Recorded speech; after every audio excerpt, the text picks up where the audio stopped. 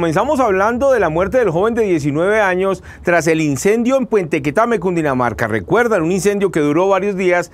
A raíz de esta muerte salieron serias denuncias. Falta de bomberos en el sector, falta de ambulancias en Puente Quetame y aquí está lo ocurrido en el Hospital Simón Bolívar aquí en Bogotá murió William Giovanni Carrillo, el joven de 19 años que resultó herido en el incendio forestal en Puente Quetame, Cundinamarca. La familia denuncia que las llamas fueron provocadas y le pide a la fiscalía que investigue lo ocurrido. Me atrevo a decir que fueron manos criminales porque fue muy temprano como para decir que haya sido por él solo, por algún otro factor afirman que hace dos meses el padre de William Giovanni murió porque en Quetame no hay personal médico para atender una emergencia. Hace dos meses llegamos llorando, suplicando, porque necesitábamos una ayuda médica, por lo menos una ambulancia para traerlo al hospital de Caquesa y no fue posible. Le hacemos la llamada a la Secretaría de Salud, al hospital de Caquesa para que garanticemos esta, esta petición que se ha hecho durante años de que haya un médico en la cabecera de Puente Quetame, en el centro de salud de Puente Quetame,